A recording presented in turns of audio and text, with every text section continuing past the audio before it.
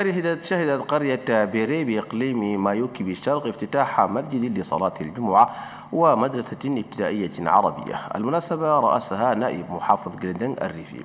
محمود موسى الفيل والمزيد من التفاصيل.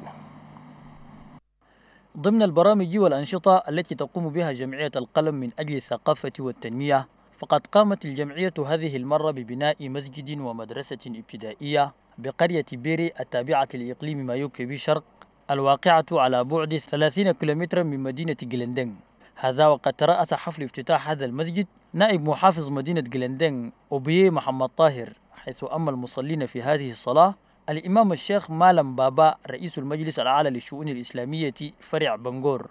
عدة كلمات تخللت المناسبة جلها تتمحور حول الحفاظ على هذا المسجد وممتلكاته ونظافته المتكررة وذلك من أجل أن يؤدي فيه المصلين صلواتهم الخمسة وعباداتهم كالأذكار والأدعية وتلاوة القرآن وتنظيم الدروس الدينية.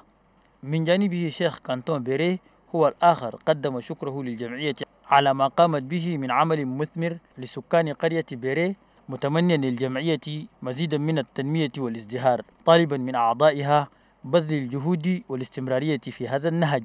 هذا ونشير إلى أن جمعية القلم من أجل الثقافة والتنمية هي جمعية تعمل في مجال التنمية بغية مساعدة الفقراء والمساكين وكذا العمل في الخدمات الإنسانية والاجتماعية.